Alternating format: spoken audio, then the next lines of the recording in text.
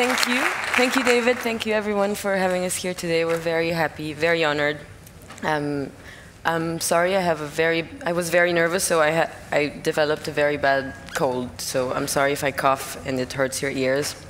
Um, so I'm, my name is Tatiana, and I'm 29 years old, um, half French, half Filipina, and the very proud co-owner of a four months old restaurant called Le Servan, which uh, I opened with my lovely sister, Katia, who takes care of everything else that's not cooking and our business partner Edward, without whom nothing would have been possible.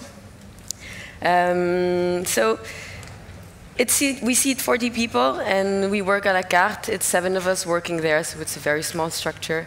And it's been open, as I said, for only four months, so it's a, it's a baby, basically. Uh, the past 10 years in Paris, uh, lots of uh, young chefs have opened many new bistros where they propose uh, exceptional produce and very creative food uh, for an affordable price. And parallelly to the, parallèlement, I mean, at the same time, um, chefs all over the world and in Paris have been getting so much attention, and it seems that what used to be a very blue collar profession is shifting to something a little bit more glamorous. And it's a, it's a very interesting time to be a chef now because things are changing. And even when I started, which was barely 10 years ago, I never could have imagined things would go so fast. So um, when you start a restaurant, everything is very, very scary.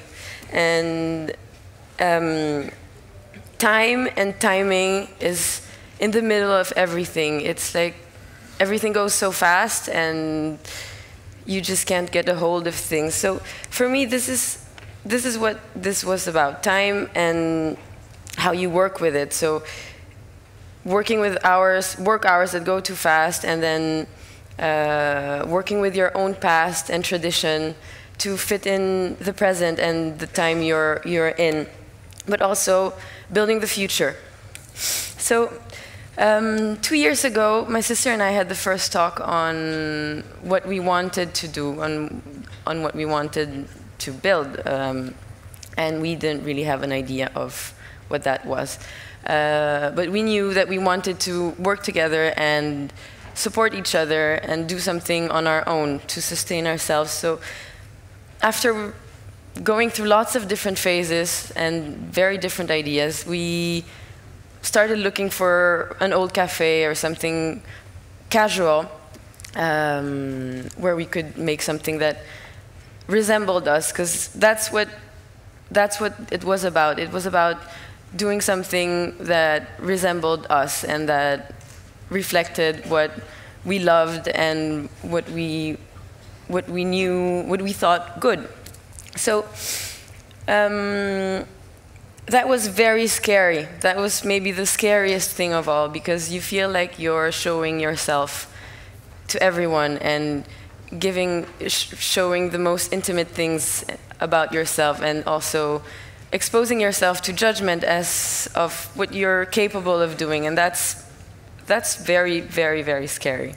Um, so um, what was interesting is that all the ideas that we could have had, that we had before the opening of the restaurant were mostly never, mostly never happened. I mean, we, we had lots of prefixed things in mind and none of it just came true because things are actually so spontaneous and so, so driven by your mood and the people you're with and, and what you feel like.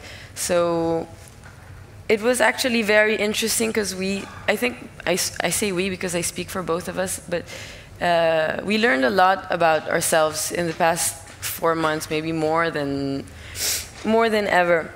So the first, the first week of the rest of the opening, I remember thinking, I can't wait to be in three months. This is too new. This is too hard. This is too new. This is completely crazy. And in those first weeks, um, all the press came, uh, all the journalists were here, lunch and dinner, and it was like every service you were being judged. and a, there's a huge gap between what you feel when you're it's an embryo of a restaurant. Nothing is fixed yet. You're not even sure of what direction you're you're taking. And people are already here waiting for something to be completely done and completely finished. And it's it's completely it's very scary and it's very it's sometimes very frustrating to think that people make make up their mind so early on when you feel like you're you're just at the very very beginning of something. And it's also there's another another huge gap there. Um, it's that uh, you live in a, in a very closed bubble and you work really long hours with six people, always the same, and you're very focused. And then when, when, you, when you take a, a breath and look out and you, you realize how much exposure you actually get, that's just, it's, it's crazy. And though I, I was in a good position to imagine that, I didn't realize things would go so fast and would be so would would be so important. And so so it's a good thing because it does um, it does fill up the restaurant from day two, which is I think something new in in the restaurant business now is that restaurants can they become full from day two from an article or and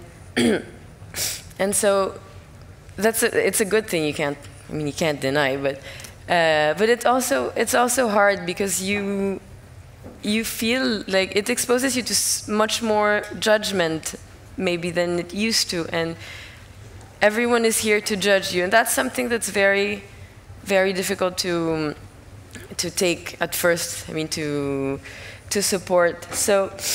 Um, by by the time the two first weeks were over, the press had already come, and that was done. So we could move on with uh, feeding real clients and uh, cooking for real people who wanted to eat, which was a relief, and and it was it was a very good thing. Uh, our image was already fixed because the whole press had done it for us. We don't have any Facebook or Instagram or anything, so because we thought that we sh should focus on some things that were more uh, of our competence, and we didn't really know how how to use those things to our advantage. We thought we'd focus on cooking and taking care of our of our small little business, but there's this whole image of the restaurant that was built without us.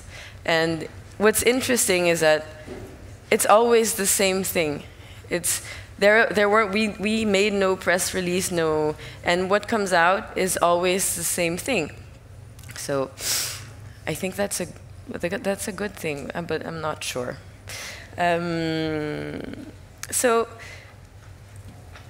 in the in the two first months, we lost part of our team. I think that's uh, something everyone who opens a restaurant uh, goes through, and though it's it was for the best for everyone.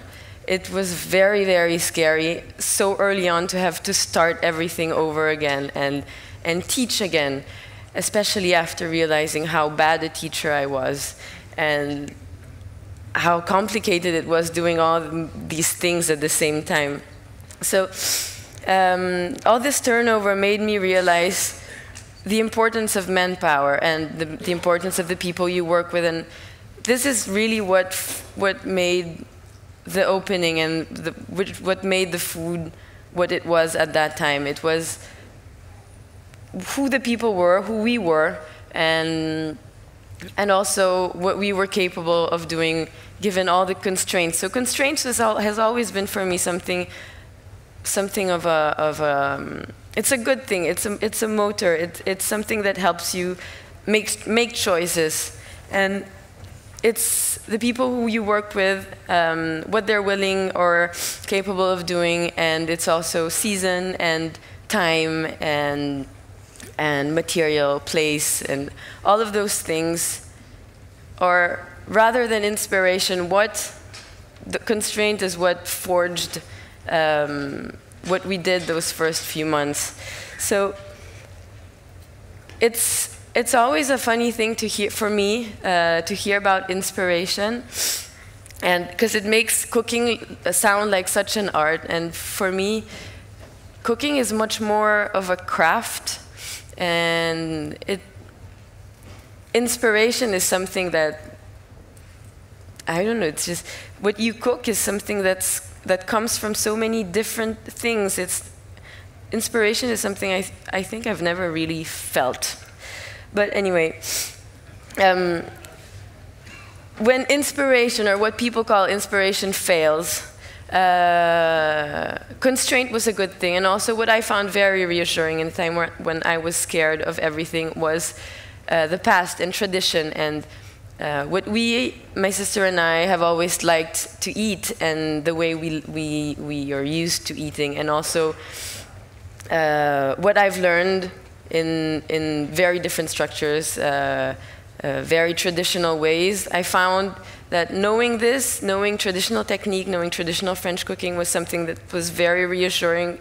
Like if, if worse came to worse and really I had no idea of what to do, I could always go back to doing a beurre blanc or something very traditional and that would just work, I guess, because it's always worked. And so in a time where everything is scary, I found that tradition and, and technique is something that's that was very reassuring. Um, because the way we work is, I think, I mean, it was for a while a little bit too spontaneous. Uh, last year I was here to translate Pascal Barbot's um, uh, talk about spo spontaneity, and I had no idea things would get so spontaneous. So it was a good thing I had reflected on it before because uh, what happened was crazy. And the way we make our menus it's, is much more spontaneous than what I think anyone could imagine. Um, we have all these products, and I'm not saying this is the good way. I'm even saying this is not the good way of doing things, but um, and cook up things the way we feel like it. Uh, menus change every day, and uh, Katia prints the menus out always a little bit too late, uh, 45 minutes before uh, the clients come. So I tell her what we're cooking, and sometimes she gets it right, sometimes she doesn't. And then so she prints it out, and by the time menus are printed, it's already too late. So whatever she she printed out or whatever I told her, sometimes I didn't even tell her the right thing, is what we're going to do. And so we always have a menu that's uh, in the kitchen. So if we forgot something that we, we prepared or got something wrong, we have a reminder of what we're supposed to be serving people. Um, so this is.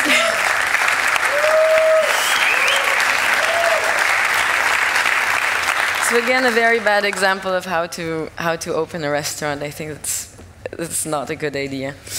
Um, so uh, what was I saying? This. Yes, so all of this makes you feel not that comfortable. It's like you're always on the edge, um, being judged. You're giving, ev give, giving everything. We, um, after four months, we closed the restaurant for two weeks vacation, which was um, necessary, I think, for us and, and the whole team who's been working really hard and whom I thank very much. Um, and we look forward to the future. But I'm also, we're also very nervous that in those two weeks, everyone has forgotten us, and you come back, and your restaurant is empty, and all of that is like something, a new, a new fear that's within you, and that like René told me yesterday, that just doesn't leave. So it's it's actually scary, be knowing that you're going to be scared for the next 10 years but it's also very exciting, and I think it's, I'm sure. And um, so, but it's also very exciting, and what we really do want is to learn how to how to cook in the future and how to cook to make this last.